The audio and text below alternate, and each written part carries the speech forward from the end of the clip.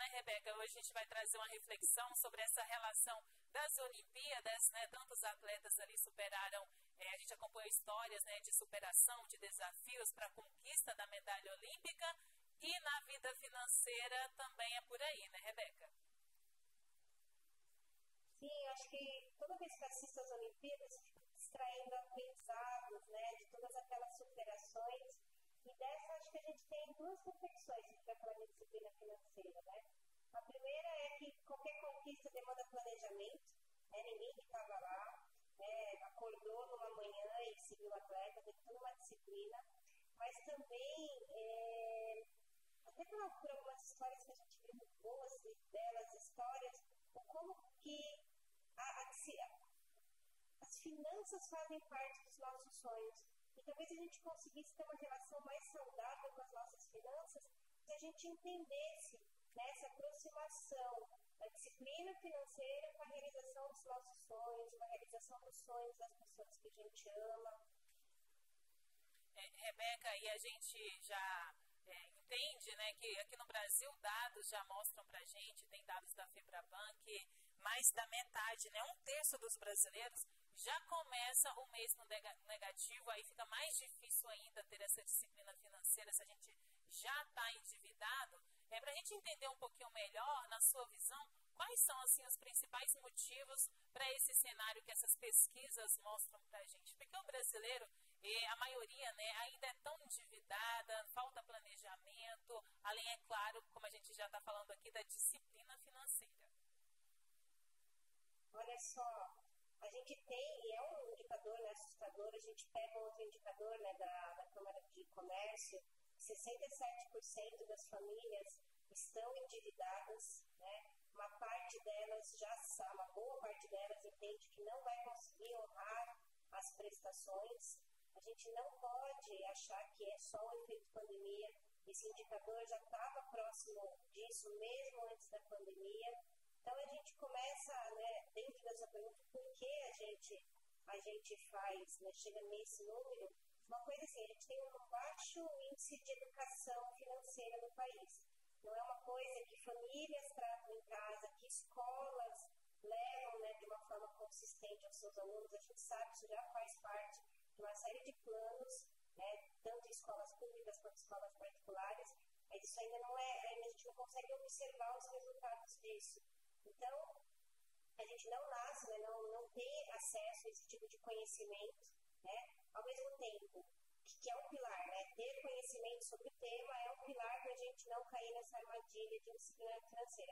O segundo pilar é a motivação. Então, a gente acaba não trabalhando muito os motivos pelos quais eu queria disciplina financeira. Né? É uma medalha olímpica, é uma viagem, né?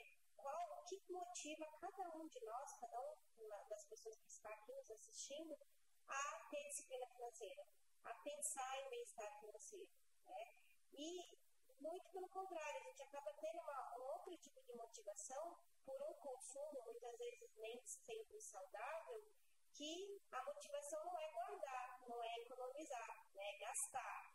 Então, de um lado, eu não tenho conhecimento, do outro lado, eu não tenho motivação, e tem aqui uma terceira perninha, né, esse, esse tripé é apontado pelo CBE, que é a capacidade de tomar decisões, fazer escolhas né, que coloque, não coloquem o meu futuro, em risco, que não coloque a qualidade de vida no momento presente em risco. Então, olha só, conhecimento né, dessa temática, buscar motivadores ou a ausência desses motivadores e uma disciplina de tomada de decisões, né? se pautar em conhecimento nos seus motivadores para fazer escolhas. Então, eu acho que esse tripé é bem interessante para quem está nos assistindo, anotar né, e olhar e falar como é que estão esses três, esses três pilares na minha vida. Falando então, Rebeca, sobre a motivação, assim, acontece que nesse planejamento pode vir os desafios, né? E tem também a questão das emoções, que está muito ligada à motivação. Como que as nossas emoções podem, então, influenciar a nossa maneira de lidar com o dinheiro? Essa pergunta é bastante interessante. Durante muito tempo, falando de algumas décadas atrás, a gente acreditava que o ser humano tomava decisões com a razão. Então, sempre tomaríamos decisões que otimizassem o resultado. Ao longo dos anos, depois de alguns prêmios Nobel, a gente descobriu que não, não é bem assim. O ser humano ele toma decisão, é muito impactado pelas emoções, que nem sempre trazem o melhor resultado, que nem sempre trazem o resultado esperado por aquela, por aquela pessoa. Então, a gente desconsiderar né, essa, essa área toda subjetiva no nosso processo de tomada de decisão é, é um erro péssimo, né? Porque aí a gente não anota despesa, aí a gente não planeja o que vai gastar, como vai gastar, a gente não olha para o nosso futuro, com aquele momento que a gente vai se aposentar. Então, se a gente acha que a gente vai cuidar das nossas finanças de forma intuitiva, né, a gente se coloca no risco de que as emoções, né, no calor ou na ausência delas, a gente não vai acabar não tomando decisões decisões é, inteligentes, né? Lembrando que inteligente é aquilo que vai trazer o melhor resultado para mim e outro para a sociedade, né? São decisões que vão trazer bons resultados para minha família, né, para o ambiente. Então, as emoções, elas não, não têm essa capacidade de fazer isso. A gente não pode ignorar a presença delas no nosso processo de tomada de decisão. Isso para tudo. A gente poderia estar aqui numa tarde de sexta-feira falando sobre nutrição. Então é a mesma coisa. Poderíamos falar disso tudo, de nutrição, com relação ao esporte, às Olimpíadas. Então eu vou ter conhecimento sobre alimentação, vou ter motivadores ou não para seguir determinada, determinada dieta, e aí eu vou começar a ter que tomar decisão. O que eu ponho no meu prato, né, o que eu tomo de. de agora a pouquinho eu vou tomar um suco verde. Claro que seria muito mais gostoso comer chocolate agora à tarde, mas eu tenho algumas motivações. Eu tenho conhecimento que o chocolate vai me trazer, não é chocolate ao leite, né, delícia, vai me trazer mais calorias do que, do que o suco verde, que vai me trazer uma série de benefícios. Então, o nosso comportamento financeiro é muito semelhante. Então, a gente vai buscar conhecimento e aí a gente planeja. Então, está na hora de comprar alguma coisa, está né, na hora de não comprar alguma coisa, aí a gente vai fazer uma, uma, uma decisão. Né? Então, é muito parecido. Então, tem uma dificuldade de entender o que não está andando nas finanças, a gente faz as metáforas na área de nutrição, que é muito parecido. Não dá para contar tudo, não dá para comer tudo. Né? Então, vou buscar conhecimentos para tomar uma decisão. Mas essa motivação, que ela é muito emocional, por isso que a sua pergunta foi muito pertinente, muito interessante, é a motivação que vai me ajudar agora a tomar um suco verde e não comer uma barra de chocolate ao leite. Rebeca, e existe assim alguma forma né, da gente descobrir qual é o nosso perfil é, emocional em relação ao dinheiro? Assim, quais são as dicas para a gente conseguir desenvolver um relacionamento saudável ali com, com as finanças? Olha, acho que a gente pode, a gente pode apelar para aquele, apelar, né, usar como referencial aqueles, aqueles quatro pilares do bem-estar financeiro que ajuda muito a pessoa a entender tá, por onde eu começo. Né? Então, o primeiro né, pilar do bem-estar financeiro é a gente estar tá preparado para choques. Não dá para a gente achar que a gente vai passar pelo planeta sem passar pelo imprevisto. Não precisa ser uma pandemia. Pode ser uma dor de barriga, uma demissão, uma doença. Então, primeira coisa a gente ter aquela né, reserva para esse momento de dor de barriga. Né? Estar preparado para um choque, para um imprevisto financeiro.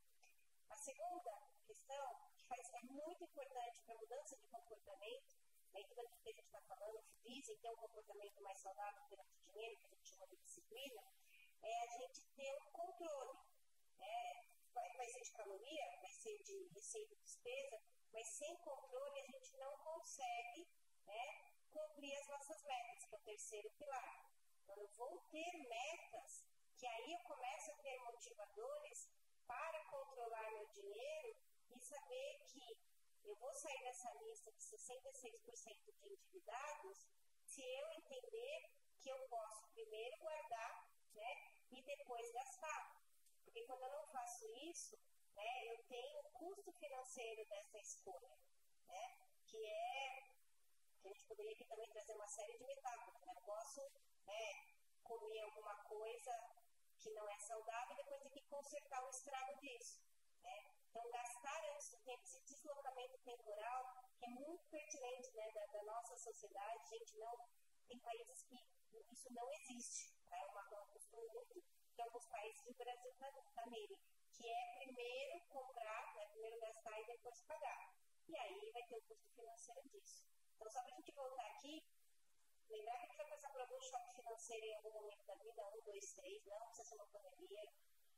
Ter né, um controle a gente não se perder e essas metas que vão ajudar a gente ter, ter um controle. E como eu falei que eram quatro, o último é o que eu mais gosto, né? É a gente entender que a gente pode ter liberdade financeira se a gente tiver um bom planejamento. Né? Liberdade financeira para a gente fazer escolhas. Então aí a gente vai chegar com todo um conceito de estilo de vida que ele não pode estar desalinhado com os, com os, nossos, os nossos, nossos ganhos e nossas despesas. Né? Então, o de caixa ele, é uma consequência de uma série de escolhas. Ele não acontece, ele não surge lá sozinho no nosso saldo. A gente vai fazer escolhas que me levam né, a 20 quilos a mais ou 20 quilos a menos, a mil reais a mais ou mil reais a menos no final do mês. Interessante, né, Rebeca, como tudo parece estar relacionado às nossas emoções, né? A gente tem a motivação, você está falando aí da, da importância também da disciplina né, financeira, e tem esse item que é acreditar na capacidade de influenciar seus resultados financeiros. Está tá tudo, né, um equilíbrio tudo ao mesmo tempo interligado, como as nossas emoções é, fazem parte até mesmo da nossa vida financeira. Né?